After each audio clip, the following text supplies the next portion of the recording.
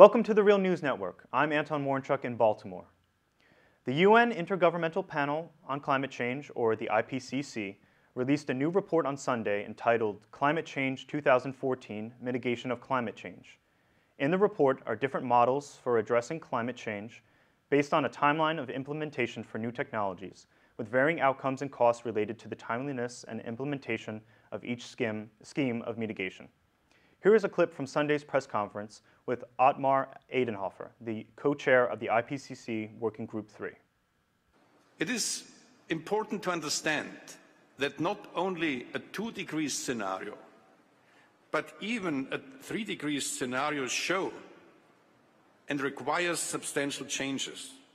What has been done over the next two, 20 years or so to achieve ambitious level does not change even if one relaxes the temperature target from 2 degree to 3 degree.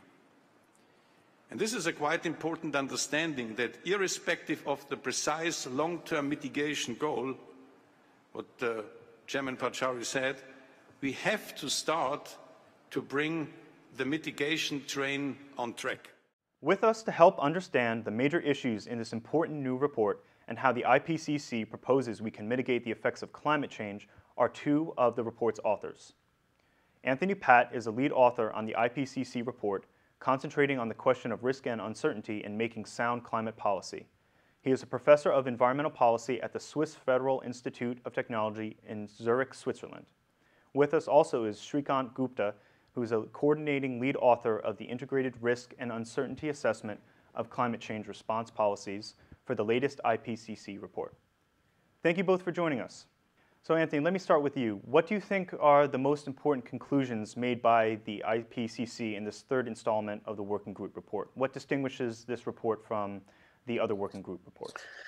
Well, I actually think the report has two very interesting findings. And the first one is a result of looking back at the last 10 years. And what you see from looking back is that unfortunately, CO2 emissions in the world accelerated. Now, what's interesting when you actually break this down by country or country groups is that you see that in the wealthier countries like the United States, emissions actually flattened off, which is a very good thing. And that driving the growth in emissions over the last few years has been the rise of, um, of economies such as China and so on. Um, we, can think of that as a good thing because it's lifted uh, millions of people out of poverty. But what we really have to concentrate on with climate change is continuing that kind of economic growth to lift more people out of poverty while decoupling that growth from the emissions of CO2. Um, the report then actually gives us a whole lot of options for how we do that. And one of the interesting findings from the report is that it's not just one thing that will accomplish that, but a whole lot of things together in a whole lot of different economic sectors, whether you're looking at urban planning and development, whether you're looking at buildings, whether you're looking at transportation. In all of these sectors, there are a lot of different factors which often stand in the way of people actually switching from carbon intensive fuels to carbon free technologies, and a whole lot of policy options which are available and starting to be actually tested in more and more countries that can help them do that. So Shreekant, let me get your take on that. What do you think are some of the important conclusions of the Working Group 3 report? Well, um, I do think that the Working Group 3 report is uh, talking about early and deep cuts in emissions.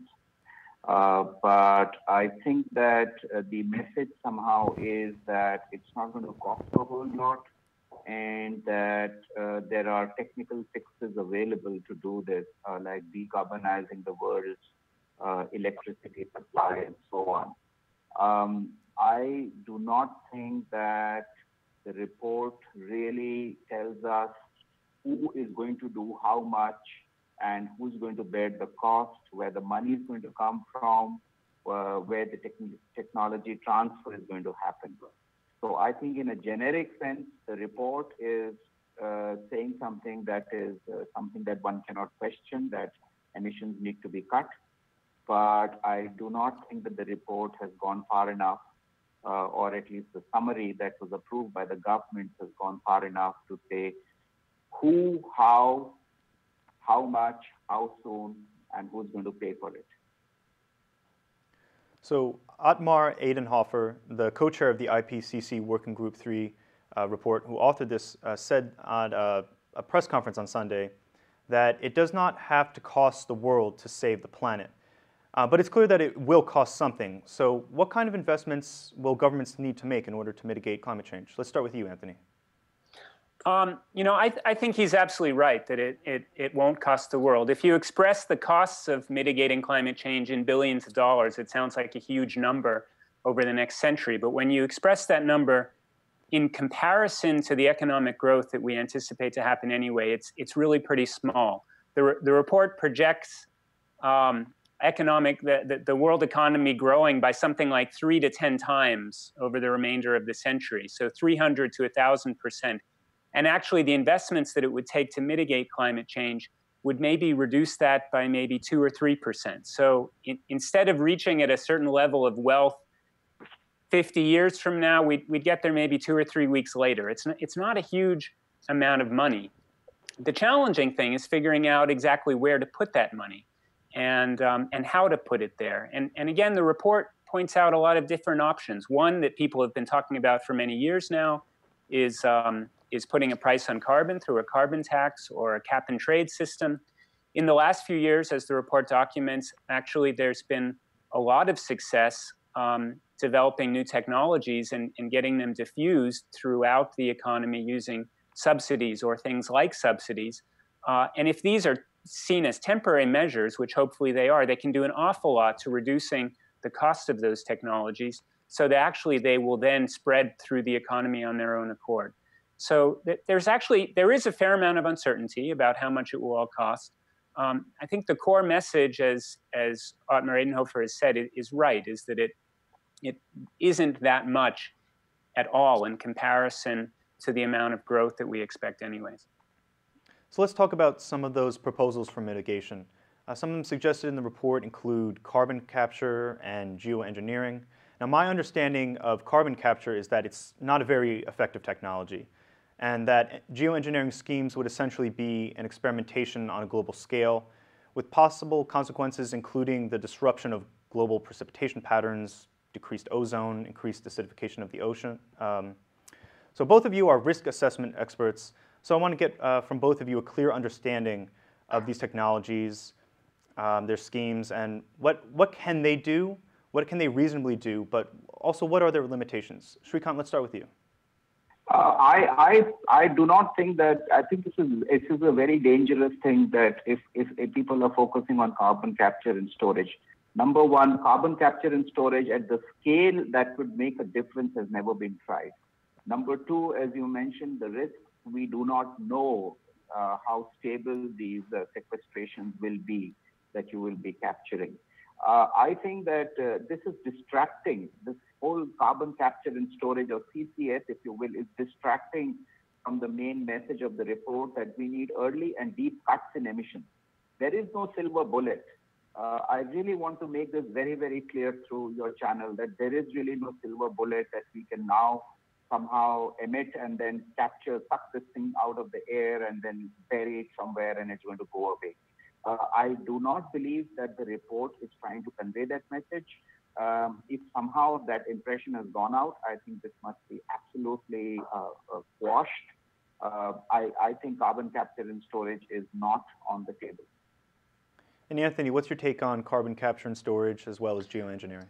Well, well, carbon capture and storage is a technology where actually all the pieces of it are in place. It's just that we've never tried it at the scale that we would need to to make a difference with the global climate. Um, my, my own opinion is is actually somewhat similar to Shreekant's in that I don't see it as a technology which is feasible for at least the next 20 or 30 years. And, and to be honest, that's too late to make the kind of deep emissions cuts that we know we need to make. And, and even if it were available, at least right now, it, it's actually more expensive than many of the alternatives like solar or wind, which the prices of which have come down dramatically in the last few years. So at least in the short run, CCS, carbon capture and storage, isn't a great option. Where it may be really important is in the future if for whatever reason to avert a crisis or a disaster we actually we need to suck co2 out of the air And this is where it becomes important because you can, um, you can combine CCS with the burning of biofuels. The air sucks, the, the, trees suck the CO2 out of the air. You burn it, and then you take that CO2 from the exhaust and you bury it underground. And the net result is pulling CO2 out of the air while generating electricity.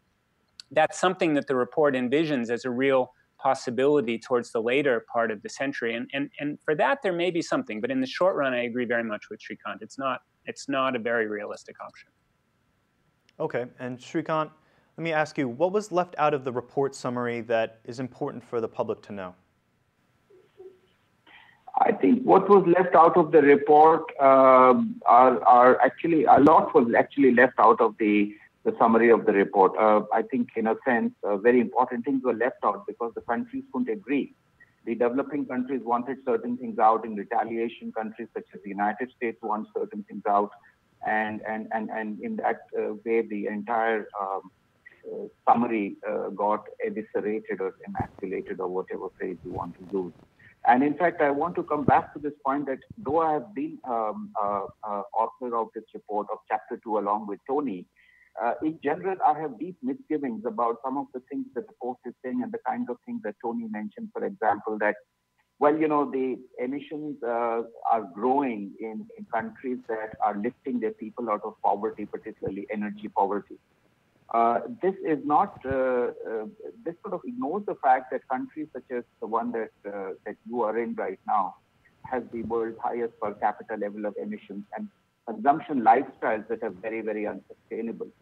So I think those kinds of messages somehow have got muddied in the report. And I think uh, some very important things that got left out of the, the summary, I think the most important thing that got left out of the summary for whatever reason is the wide disparity in per capita emissions across different parts of the world.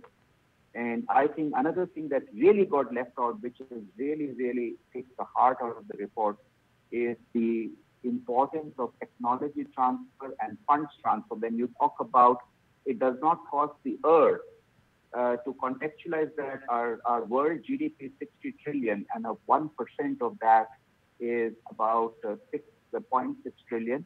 If the world economy, as Tony mentioned, is going to grow and we're a $100 trillion economy, if we use 1% to combat global warming, that's only $1 trillion. That's the amount of money that the US spent on fighting the war in Iraq, if you believe Joe Stiglitz. So the point is, 1 trillion is not a whole lot to save the world, but that money has to come from somewhere and has to go somewhere. And the summary doesn't talk about that. So I think these two things, lack of per capita emissions and technology and resource transfers are very important things because of the politics of the process was left out of the summary. And I think that's really unfortunate. Okay, Shreekant Gupta, thank you so much for joining us. You're welcome. And Anthony Patt, thank you so much for joining us. Welcome, it's a pleasure. And thank you for joining us on the Real News Network.